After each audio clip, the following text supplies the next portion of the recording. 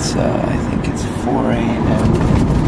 I'm in a cab on my way to JFK, and uh, it's really, really early, and I've had two hours late. But I mean, who flies at seven in the morning? I have no idea. Who goes to the airport at three in the morning? I don't know, but I'm very tired. But um, I'm very excited as well about working with these guys. I'll see you in Canada.